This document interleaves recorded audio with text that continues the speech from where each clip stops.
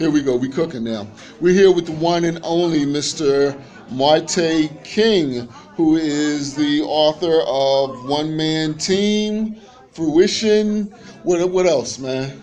Um, I got a couple of things in the works right now. Okay. Dandelion and the Sidewalk is the next one that I'm, I'm working on. So what's that again? A Dandelion and the Sidewalk. That's that's kind of like the next one from fruition. Okay. All right. And how long have you been writing? Uh, I've been writing since about 2004. Okay.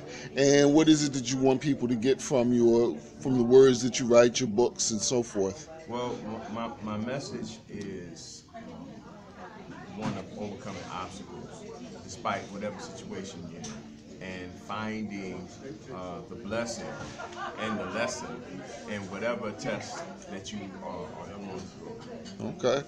Now, I remember about five, six years ago, I interviewed you. You said you got a hood book and you got a good book. Yes, and now they're here. Okay, so Yes. t- tell, Yes. tell you you know I'm from Maryland Avenue. So first things first, tell me about the hood book. Okay, so so I'm gonna give you a little background.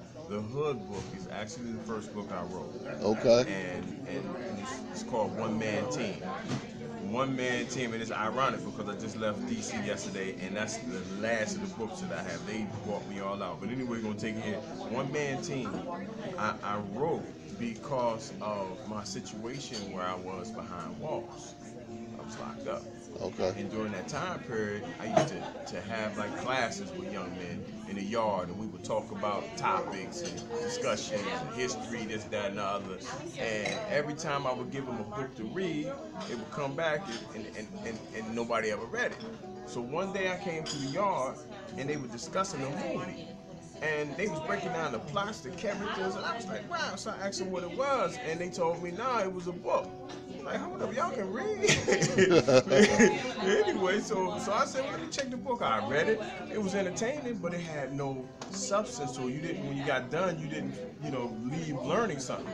So I said, well, you know, I, I know all the street stuff. I can give you all that garbage and, and still give you some history, some food for thought, something to grow from. So that's our book on edutainment. We entertain and still give you something to go with when you finish. Okay. All right. And tell me about the good book. And the good book, that's that's fruition. And fruition is a memoir of my experiences as a hospice care provider for men who was dying in prison, and the lessons that I got from it. It's it's, it's uh, inspirational, it's thought provoking, and it's funny. So it's a good read, and it, and it puts a different spin on some of the lives of individuals that you may never have heard. So I, I hope to shed the light and, and, and extend our humanness, because when we begin to understand each other and each other's plights and situations, then we can grow better as a people. Okay. Thank you so much. Thank you.